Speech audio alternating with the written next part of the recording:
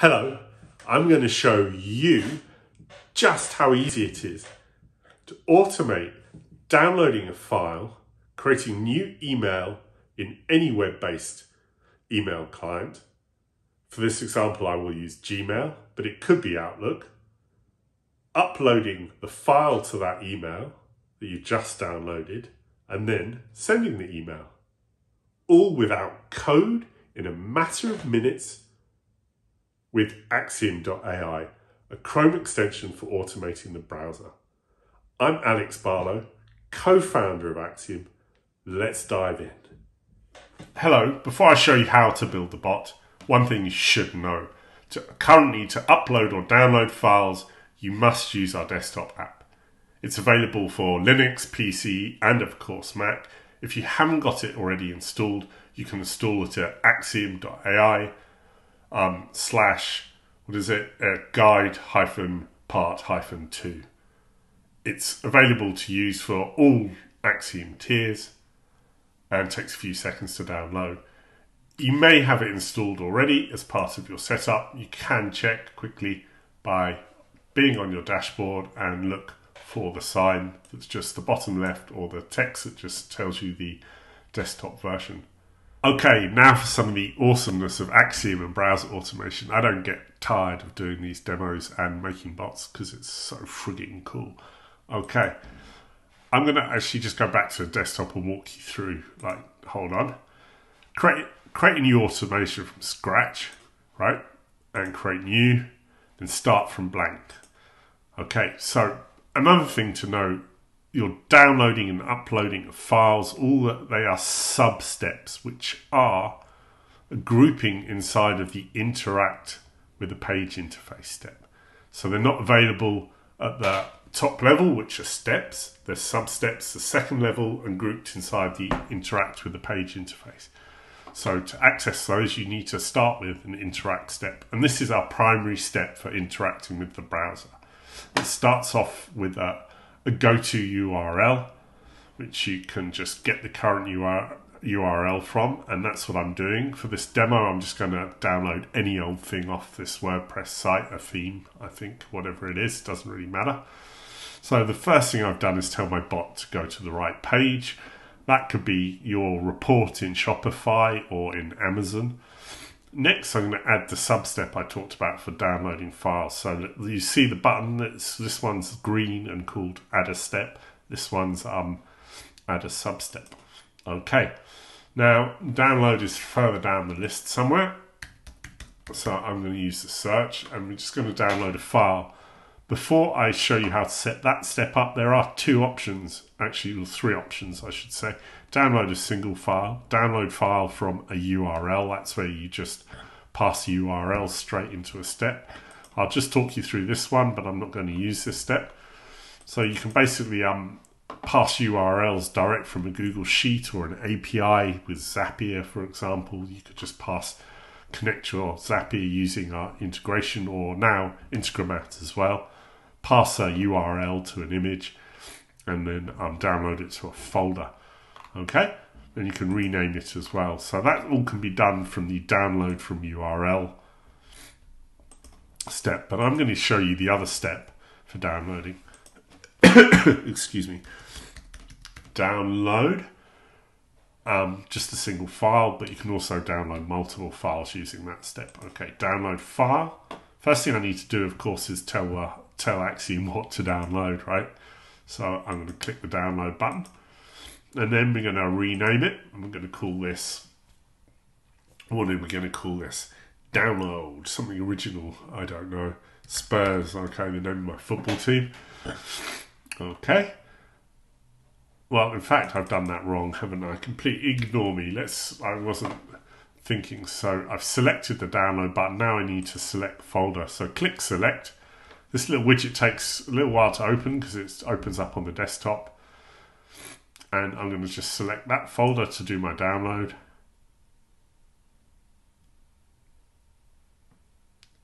Now you can, if you're really good at remembering all your paths to your folders in your desktop, you can, um, or your laptop, you can just type those in yourself. I'm rubbish at remembering those sort of things. So I'm going to use the click.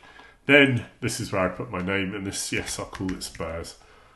Okay, so that's how simple it is to download a file. Now that file will be downloaded to um, folder called videos, and the file will be renamed to Spurs. Okay, so how do I then pass that um, file to the, create the email, blah, blah, blah. Well, let's go to the next part.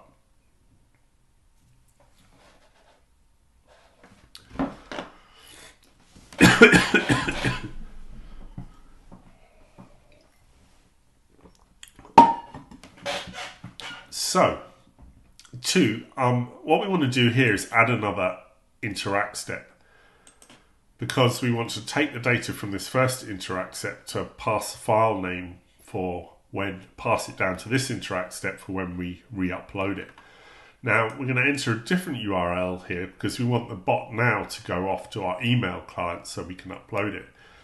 So let's talk about email clients. So for this video, I'm going to show you how to do it with um, Gmail, but you can also do the same thing for Outlook and probably all the other email clients as long as they've got a web interface.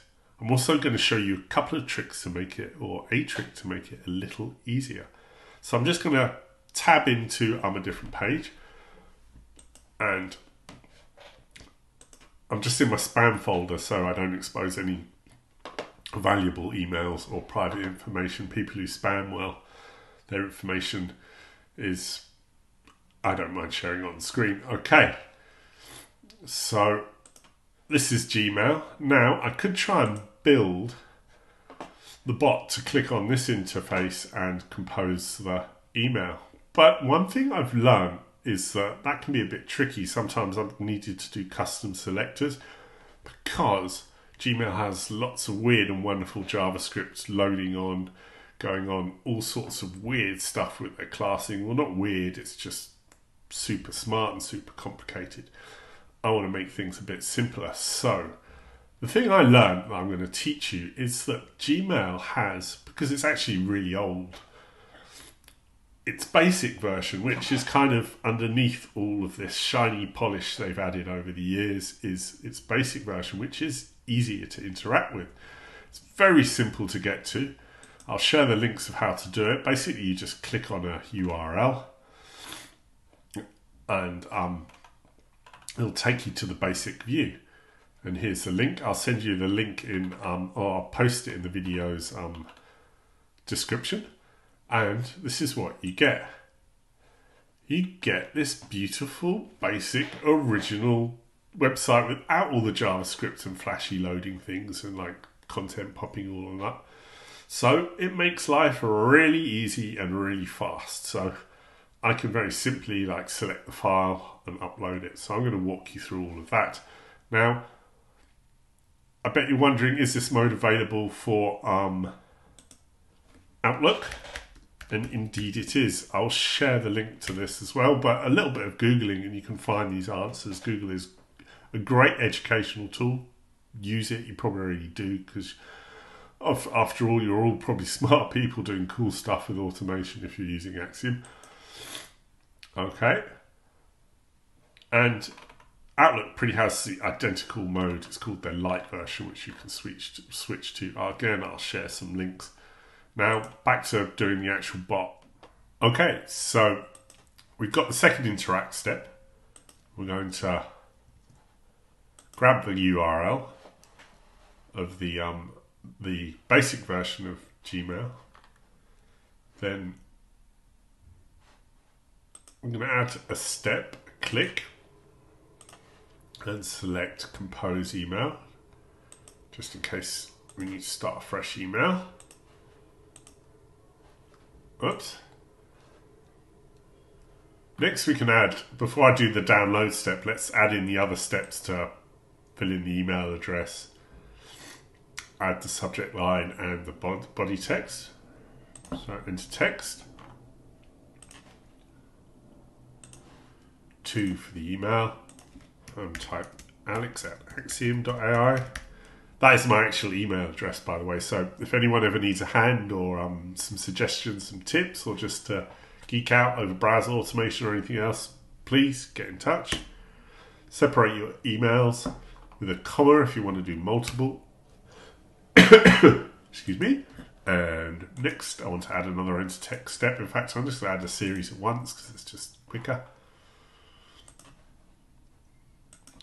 As we make our next releases of Axiom going on in the future, we're going to improve the step adding process as well to make it a little faster. One of the things on our on our list. So next, I'm going to add subject line. Or did I do that one already? I think I may have done that already. I'm just going to put some text. Hello. I haven't set up the first one. Sorry, I'm going to do the subject line with that one. And the second one, just be the body. Oh, this is my file.